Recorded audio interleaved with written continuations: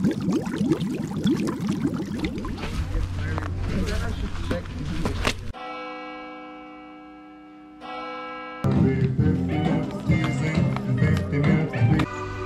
are created in laboratories and they are created as little kids.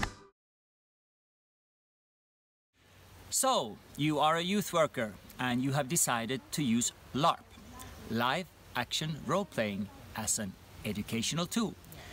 Uh, you have a firm belief that games is the way that humans learn things. You know that if we can create deep emotions, the learning will be better. Uh, you also believe in the power of imagination. You know that people need to leave their comfort zone and be a bit nervous in order to learn things in their learning zone. LARP is perfect for this. Educational LARPs uh, should create conditions for learning, uh, relearning, and de-learning.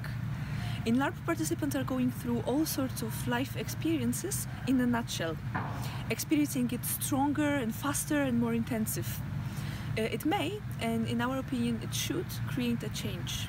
LARP in general stands for live action roleplay, and there are many different types of LARP, such as Anglo Saxon, which focuses mostly on action and fighting, then the Nordic LARP, which focuses on immersion, and Chamber LARP, which is a smaller type of LARP which doesn't use any costumes or huge props.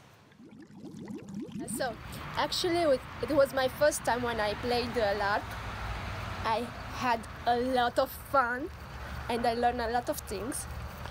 And uh, when I had uh, some problems, uh, the, the other people gave some advice to me. So, the first one is that when you first start to play LARP, choose a character more similar to yourself because uh, it may happen that you'll uh, freeze and uh, you don't know what to do. And the second one is to uh, choose another uh, friend, maybe a person who's uh, more friendly to you. So when you need help, to go for that person and ask, "I need help."